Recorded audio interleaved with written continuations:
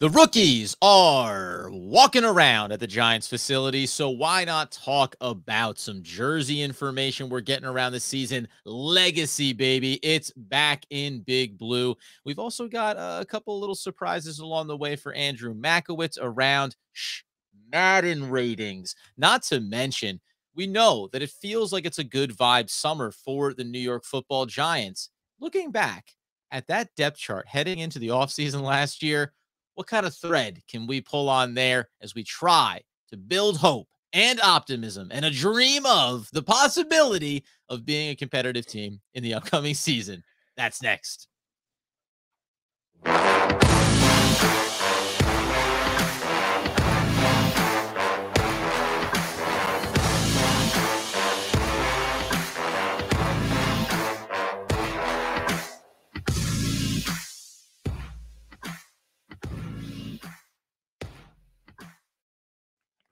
Oh, yes, my friends. It is OGP, the One Giant podcast, where, as you know it, we are your hosts over here, Adam Armbrecht, covering the Brooklyn Nets and the Locked On Nets podcast with my boy Doug Norrie and yonder there. It is the season generational ticket holder, the healthy, wealthy, and wise home sitting for his young boy, Mr. Andrew Makowitz. Oh, if anyone is a, an avid listener of OGP, they know I have a two and a half year old, and nothing is worse when you get the phone call on a Monday that's like, hey, there was a, an COVID outbreak uh, sure. in, your son's class. So we're just going to basically like shut it down for the week. So uh, here's your child back and uh, good luck for the week. And you're like, ah, well, there goes work. Work shot, right?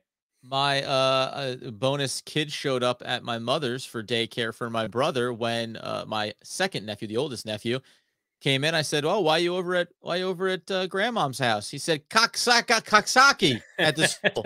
like, okay, must be another outbreak. So there you go. It's always uh nothing but fun times for the kids as he tries to enunciate Coxsackie, which is obviously something very serious for the children. Now, friend, also very serious for the children, and by that I mean the fans of the One Giant podcast. We are like you are like the children of this show. We are like the children of the Giants. We just want mom and dad to stop fighting and take us out to Arby's.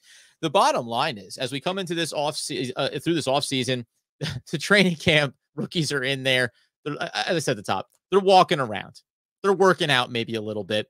We don't get to get any information until next week officially kicks off, but we did get um, some fun, I think, information and news that the New York Football Giants are bringing back those sweet, sweet legacy jerseys, the throwback 80s, 90s style. You know, the red and white trim, the old school Giants written on the side of the helmet. Uh, before we, before I tread it, it's a different type of energy when you go to the stadium and you see those those old school jerseys on. Yeah, I mean, chef's kiss to the Giants. Let's just start out. The idea of them bringing back these jerseys, like think about it. Anyone that grew up on those jerseys in the 80s and the 90s is now in their 30s or their 40s or their 50s, and it just brings that nostalgia back of going to the Meadowlands when the Giants, you know, were at their peak in the 80s and 90s. You had those great defenses. The fan base was amazing. The stadium was electric. I, it just it conjures up a lot of good thoughts. So the Giants saying that they're going to at least bring those jerseys back for two games next season got me all fired up yesterday. Now, um, uh, chef's kiss or all fired up, whatever the opposite of that would be, might be the PR department because I, am a fan of it. And they brought back LT. LT passed the torch of the old school throwback jersey to Saquon Barkley. And yet, it was the most anticlimactic video with this just kind of I just I don't I don't know. I know that it's social media and who really cares, but I was like, "Oh man, um it's to be so cool." When they show the video, if you're on the the Giants email list, it shows LT looking out the car window and you think, "This is going to be so much fun too." All right. He kind of sat down and said, "Hey man, this is for you." So, I guess you'll wear that then. And uh we'll move on to say nothing of the awkwardness of Blake Martinez's guttural yell in the locker room, which was just spaced out enough to have it feel like they were like, now three, two, one, roar, and there we go. It it felt so. I liked the idea that they had, Adam. if anyone hasn't, if anyone premise. hasn't seen it, It's Saquon Barkley sitting by his locker. He puts on headphones and they pan to what's in his hand, and it's a cassette player. And you just know it's going to be good. You're like, whatever's coming next, this has got that old school feel. And then from there, it just felt like it went downhill. And to, to your point, like I was excited about it. The fact that the jerseys are amazing kind of makes everything a little bit okay. Yeah. yeah. like they just look great. It, may, it makes everything okay. I will say one other small tidbit. Like LT, arguably the greatest defensive player in the history of football. Sure. But also he like kind of has a checkered past with drug abuse and being arrested and finding himself in very precarious situations. I'm unfamiliar you, with the stories. Yeah, I mean, we don't need to go into them in in great detail. Some of them are not very flattering. It's like, why not pick somebody like Phil Simms? Right, like Phil Simms could have been a perfect guy who bridged the 80s and 90s teams. Feels like uh, LT was was a little bit on the on the edgier side for the Giants to pick, given his history. Why not? Um, why not have a whole collection of of those players, right? Like, why not have Ooh, even better, like a montage? Guys? Well, I mean, you know, it's Phil Simms, like you say, he could be handing it to Daniel Jones. And why don't you bring in, uh, you know, Tyrone Wheatley to hand it off to Saquon Barkley, Rodney Hampton or something, right? right? You know, yeah. yeah. I don't know why I went to Tyrone Wheatley. I mean, hey, hey, listen, they're all good. They're all, they're all, they're all in my mind. Uh, yeah, but like, why not? And and listen, I know that it's like a little bit beyond that that time frame necessarily, but Amani Toomer wore those jerseys, right? Like, why not have Toomer? Pat, like, guys, make the connections here. We're not going to waste too much time on this, but um, basically, we're saying we could have done a better job with that video. If they're going to release something awesome like those jerseys, get a little bit more creative. Like the cassette tape, I thought was the start, and it ended up being the best part about it, which was unfortunate. It's always a bad sign when the start is actually the finish. Now, the other thing we're going to get into here, I'm going to save the. I, I, mentioned about the idea. There's some Madden ratings out there. There's one that I just wanted to kind of have a conversation around. Another one that I thought was really exciting, but do you i'll let you steer the ship here andy do we want to get into this good vibe summer and and where the roster was a year ago to where it is today or do you want to do you want some shock and awe with one of the most exciting possible Madden ratings to be uh, revealed all right. Well, so the Madden thing is top of mind on Twitter right now. So let's hit up the Madden stuff okay. really quick, and then we could do the snapshot of 2021 between 2022. Buddy, I love it. So uh, Madden Delight. Here's the first thing that we can talk about, which is not nearly as exciting and maybe a little bit concerning depending on how you think about it. The Madden ratings for wide receivers, um, Sterling Shepard is actually up top there with an 82 overall rating ahead of Kenny Golladay at 81, 79 for Kadarius Toney, which I think is, you know, right where you want to be. Guy could be explosive and all of a sudden be an 85 midway through the year. Darius Slayton, a 77 and then you end up with Richie James Jr. at a 76 there. Now, before I get into, uh, you know, obviously Wan'Dale Robinson, um, is it concerning to you that our best wide receiver is a, is a receiver that might not play for us? I, I mean, why, why do you say that he might not play for us? What, what, what are you saying by that? Oh, no more for Sterling Shepard to get out there on the field for the New York Football Giants, but there's a good chance that he's not going to be there. And I just it, it, it, you know little ring a ding ding alarm bells when then you talk about uh, you know I will just fill it out here. Um, the only one really of note is 72 for Wan'Dale Robinson. Um, I, I I'm not there's no judgment on these on these ratings because I, I can't tell you or quantify what anyone is. And then you have actually uh Jordan Akins uh popping up there at 71 along with Collin Johnson 70 and down the list we go. But yeah, but but but what do you think about does that feel does that actually feel like I know it's Madden, we get that. We're talking about real life football but that's a nice little clump of guys in the in the in the upper 70s into the 80s, not not falling behind, not showing off in the meaty part of the curve.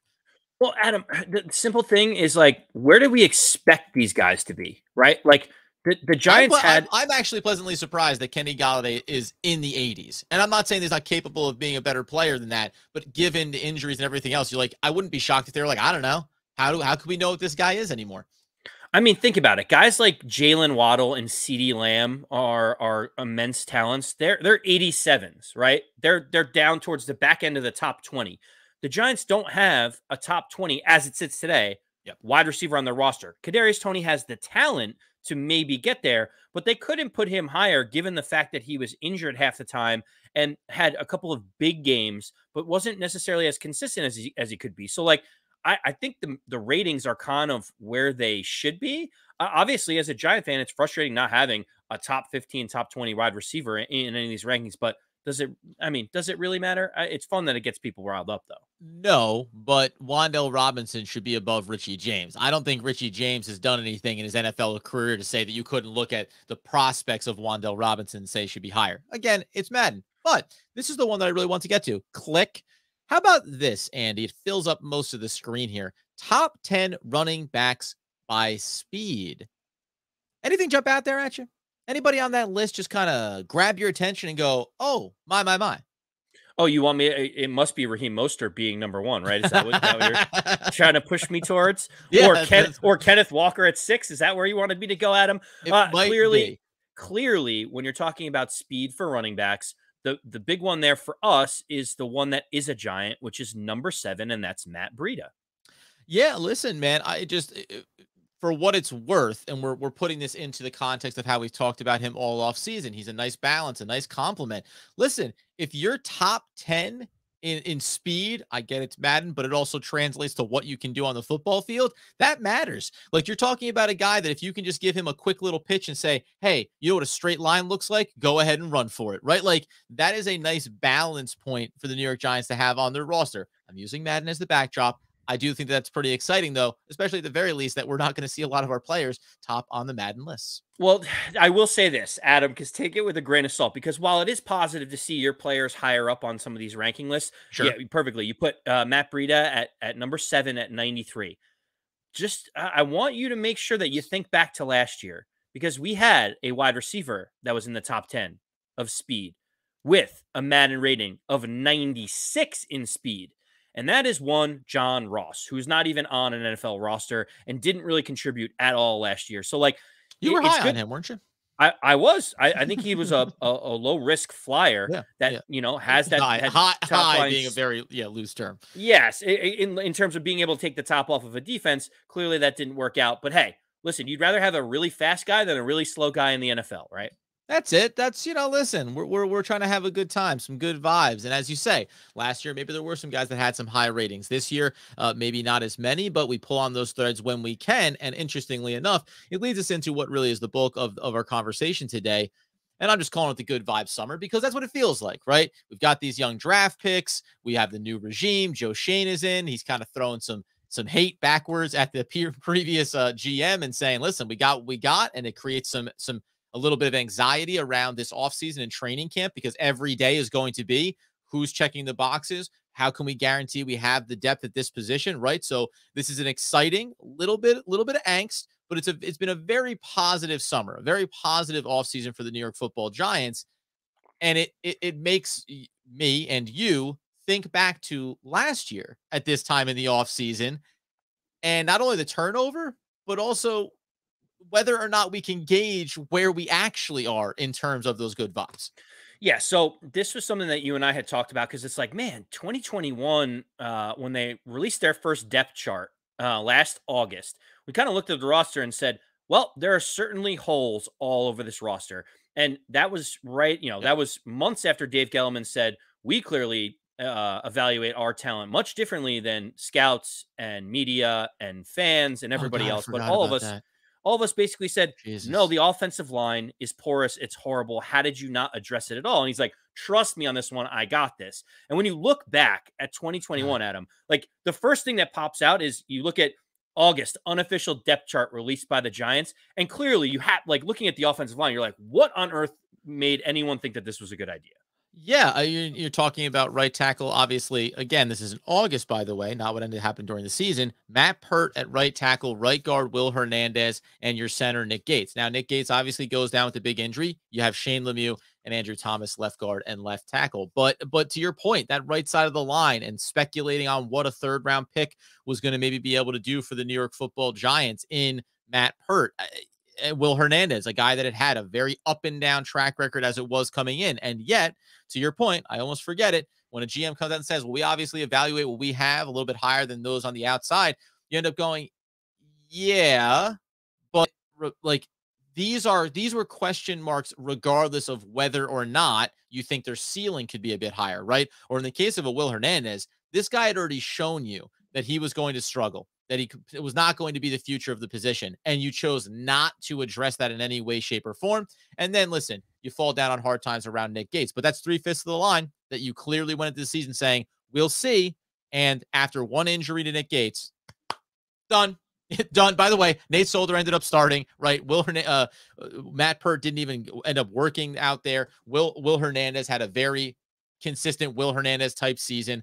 Um, uh, just disgusting. I'll, I'll put it that way. I, and I know I know we're going to compare it to what we have this year, but it's just it's just so hilarious to look back at that now, knowing what the year turned out to be, and say, "Good lord, how did you possibly think that was going to pan out?" Well, and then you have Ben Bredeson. You throw yeah, in yeah, uh, yeah. the trade for Billy Price. Like we, we, were just throwing like just stuff at the wall and hoping that year, something stuck because like there was no, there was literally nothing we could do because they realized after week one, man, we really made a mistake. We didn't address the offensive line properly.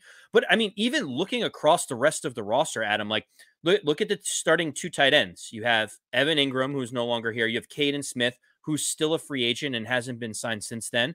And and you just look ac- across everything and you're like, man, going into the season, this the depth on this team was just not good very interesting on the defensive side of the ball. I think there's like a lot a big conversation to have there. But you just mentioned at the tight end position, and I liked Kaden Smith, right? I mean, like there was, I think there was a point along the way where I said, listen, you can just go ahead and should be cutting ties with Evan Engram and just run with Kaden Smith for a season.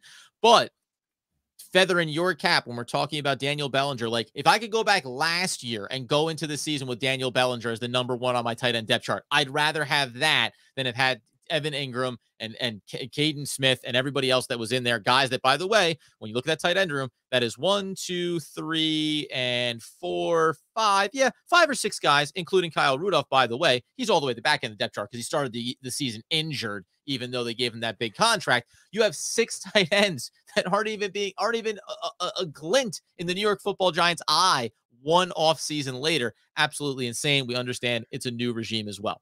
And and Adam, uh, we can talk about the defensive side of the ball. There's a lot to go there. Um, do you want to talk about the defensive side or just overall roster? That's something that I noticed. Uh, yeah, go. Yeah, hit the overall roster here because I think there's some good talking points inside the defense. But this is the from last year to this year. Not only who's not here, but also where they are now. Yeah, so that's the big thing. Is like, okay, we've moved some of these players out. We have new players, but like it really we really need to take a look back and say, where did those players go? Did other teams offer more money for them? Did they want to go home to a different destination where they're from? Like, how did it all play out? And the craziest part is when you look at this unofficial depth chart from August of 2021, not a single free agent who signed with another team this offseason got a multi year deal. They all got one year veteran minimum ish prove it deals. Evan Engram was the only one that got a, a decent one year situation down in Jacksonville, um, you know, multi million dollar deal. Everyone else, veteran minimums. And then when you think about it, it's like, okay, aside from the players like Will Hernandez, who signed one year contracts, or Jabril Peppers, who signed a one year, $2 million deal with the Patriots, everyone else is still a free agent on the market today. They haven't even been able to latch on to another team. You look at people like Billy Price, Kaden Smith, Sam Beal is listed on there. John Ross is listed on there. Kyle Rudolph is still a free agent. You're talking about 15% of the roster, Adam, maybe even 20 if we actually broke down some of these names on here one by one that are literally still free agents that no other team wanted or wants uh today. And to me, that speaks volume about talent evaluation and the lack of depth that we had and talent on the roster in general. You mentioned Sam Beal in there too, because I remember going back to last season, right? He kept he kept sticking around the roster much longer than anyone anticipated. He was a bit, you know, took the third round compensatory pick. It didn't work out, had the injuries, couldn't quite crack the roster, but he kept giving him these chances. This is always what we talk about around, hey, listen, the name that you know because he's been here need not still be here. You can take anybody under 25 years old and say, we're going to take a shot on this player and see if it pans out. And in some ways, a lot of the best organizations do this throughout the year. And we did I do remember trying to applaud a little bit of what the organization was trying to do, something they hadn't done in years past was like, hey, be active on when, when players are getting cut, when players are getting released in season, when you can put in your waiver claim, right? Like be active in trying to turn over this roster and continue to bring in new talent. But you have to be willing to cut ties sooner with a lot of these players, some of which are ones, you know, uh, unfortunately for me, Lorenzo Carter, right? I would have liked him to see him get brought back. He ends up going to Atlanta. You're maybe it ends up working out for him in the grand scheme of things. And he can be a, a, quality contributing player on a roster. But he was a guy that was getting starting reps, right? And we were trying to determine whether or not he could be someone the Giants should retain. Now we're talking about this year could be whether or not he remains an NFL viable contributor. Right. And and Adam, yeah, Lorenzo Carter's another perfect example. I mentioned Jabril Peppers before. All these players signed one year. Lorenzo Carter's deal with Atlanta was one year, three and a half million dollar deal. They're not. This is not big deals that that giant players because their talent is so great are being pulled away. And the most ironic thing of all this, and I was going to hit you with this as a little bit of a surprise, there was a giant on this roster that ended up getting a multi-year deal this offseason. Do you have any idea off the top of your head who it was? No. I figured you'd say that. Do you want to know who it was? It was former Giant BJ Hill, who oh, Dave you know Gettleman, what? I was scanning through the list. Yeah, Dave Gettleman decided to trade away BJ Hill for Billy Price of the Cincinnati Bengals. Billy Price is a free agent, can sign with anyone today. You know where BJ Hill is? He's the the freshly minted three year, thirty million dollar man for the Cincinnati Bengals. Yep. So like. It's not only are we devoid of talent, but we couldn't even evaluate our talent properly thinking BJ Hill was was was shipped off for a bag of balls. It's insane to me. Well, and that is so when we look at this defensive side of the ball, this is the the ultimate, I don't know, the ultimate extra kick in the pants when you talk about it's a new regime and you're trying to turn over the roster. Some key decisions that the previous regime made actually did you know punitive damage going forward. You mentioned BJ Hill, and we're talking about inside that defensive front room. Okay, we have Dexter Lawrence, and we know that we have Leonard Williams, and we're going to wait and see how these young guys on the edge work out. But having a guy like BJ Hill still on this roster would be the exact perfect piece to maintain going forward. Maybe Dexter Lawrence shifting to the outside and having Leonard Williams and Dexter Lawrence, and then you could be using BJ Hill in the middle. A guy like Austin Johnson, this is more financially, you end up not being able to make the same decisions because of where you commit other money along the way. To say nothing of the fact you traded away, as you mentioned, for Billy Price and a bag of balls that ends up not being anything. And one of your solutions was Danny Shelton, a player that the second we all saw him in a New York football Giants uniform said, no, no, that's not a big boy. That is just a fat man right? That is not going to work out for us in terms of trying to turn over this roster. So I, I find it fascinating, specifically on the defensive side of the ball. Some of the players that could have still been here get stripped away. We know the financial hole that they're put in. So you end up starting to have to pull the plug on a lot of guys like James Bradberry, Jabril Peppers, injury, etc. We, we, we get that. Logan Ryan being another example here, whether or not it's a fit inside of the organization. You knew you financially were going to be strapped for him as well. And what we end up getting to is talking about, as I mentioned, the back end of this team. Okay, Xavier McKinney was destined to be a starter, right? And we think he's going to be a stud. Julian Love, veteran holdover, he right now is tentatively earmarked as the other starter at the safety position. At, at, cornerback, we know we have Adoree Jackson. James Bradberry is gone. And you know the guy that might be, we think is in line to be a starter across from him. And we have high hopes for him. Robbins, who was high sale on, on the on the early offseason depth chart a, a year ago.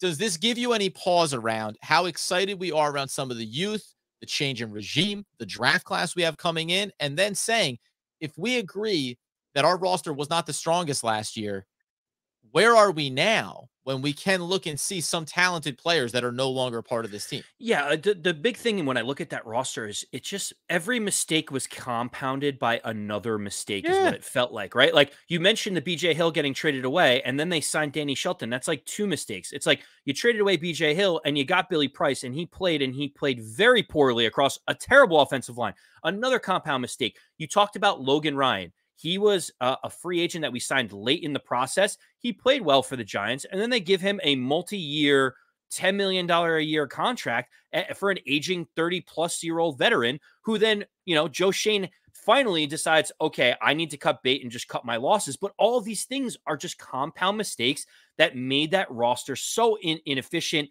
so, so haphazardly put mm-hmm. together. Mm-hmm. And, and, and so finally, you fast forward to this year, and Joe Schoen says, we can no longer go on with this offensive line. Like we acknowledge what everyone else knew that you know Dave Gettleman decided he did not want to address, which is we have to fix the offensive line. They draft a first round draft pick in Evan Neal to solve the right tackle. They go out and, and spend the most dollars in free agency that they had, albeit it was a small sum, to shore up the right guard in Glowinski. They go, they go out and, and put a third round pick into into the guard spot in Joshua Ezeudu. They go out and get Max Mar- Garcia and Gano. They, they they specifically said we are not going to let this be our Achilles heel again and again. We've identified that it's a problem, and if it means we got to cut someone like James Bradberry or we got to clear up cap space, then so be it. Because we cannot continue to compound all these mistakes. And that was the one other thing that that I did take a look at here, and we'll get out the door it, you're always going to bring in veterans. You need to feather that line. But when I looked inside, especially on the defensive side of the ball, and you go, you know what? I don't. And, and some of these guys had injuries over the course of last season. I don't know what Cam Brown is or is not. But do I need to have uh, Odenigbo on this roster ahead of him, and, and, you know, and having him have to fight through that as opposed to baptism by fire? This is this is about the perspective of what you thought your team could accomplish from a wins and losses standpoint last season, right? You, you come and you say we brought in Reggie Ragland. All right, I don't know if Carter Coughlin is destined to be a contributor on the defensive side of the ball or more of a special team standout. But what why do I need Reggie Ragland in his way, right? Let's find out if that young player has talent or not. Because now this year, that's what this regime is doing. Because guess what? They didn't get rid of Carter Coughlin. They didn't get rid of Cam Brown, right? They looked at it and said, probably we have incomplete, right? Inconclusive on these players. And maybe a better sample size would have pushed them in one direction or the other. But you don't get that opportunity when you philosophically don't understand where your franchise is versus where it wants to go and what you need to accomplish in the short term. Yeah, you can see that they're giving every opportunity for the young guys to start. You look at Evan Neal; he's he's going to be solidified as as the right tackle. You look at Thibodeaux, obviously first round pick; he's going to get on the field as soon as possible. But we've mentioned it ad nauseum. Dane Belton is going to get an opportunity to play early yeah. and uh, and often, and he might even uh, you know we've said it before. We're we're bullish on the idea that he might even get start a starting opportunity in week one. That's how good he is. And you think about guys like Cor'Dale Flott potentially being able to play in the slot, depending on Darnay Holmes. This regime seems more open to having some of these younger guys be able to play very early on. You know, whereas the previous regime would say, let's just go with a, a veteran like Nate Solder over Matt Peart week one, because we're going to go with what we think is the safe pick rather than what could benefit the franchise in the long term. Yeah, and uh, we're I actually had a little uh, little this day in history that I thought we'd close out the show on, have some fun summer vibes. I will say, just back on the offensive side, by and large, the offensive line has been drastically shifted and overhauled here. But the skill positions, you know, I know the tight end group looks a lot different, but wide receivers and the running back room, really, it's hey, okay, Booker out, Breida in, right? But it's it's Saquon Barkley, and then you're saying, hey, We'll see what happens with Sterling Shepard. It's Kenny Golladay. It's still at this point Darius Slayton. It's Kadarius Toney. We added in a Wan'Dale Robinson, and I think maybe just you know for fans that that that believe that Daniel Jones can show up, I think it is the idea of hey, look, we improved the thing in front of you, and you still have all these weapons around you, right? So you can go forward and hopefully have yourself a successful season. That being the case, though, uh, by the way, just to be clear here, these are good vibe summers. This is what we're yes. We're having a good vibe summer. That whole that whole last 10 to 12 minutes that we just did where it sounded like we got real depressed and, and dejected but around the was, Giants, that was good vibes. That was good vibes because we're talking about how much better it is in 2022. We went back and we're, we're doing the post mortem on 2021, but we addressed the offensive line. We, we we're getting younger, we're getting better talent. Like that to me is progress and a step in the right direction. Do you know then, Andy, at the end of the day, on this day in history, do you know what happened this day in history in 1858? Hmm. Uh, it was a cold. It, it, was it was a it was a cold winter night, Adam. That's all I can remember from that day. And just to be clear, you think that on this day in July, I meant summer night, cold summer cold, night. It was a, a cold, cold, summer night. That's what I meant. That's how the that's unseasonably how unseasonably cold. Unseasonably cold. They say the first fee was charged for a baseball game. New York beat Brooklyn twenty-two to eighteen.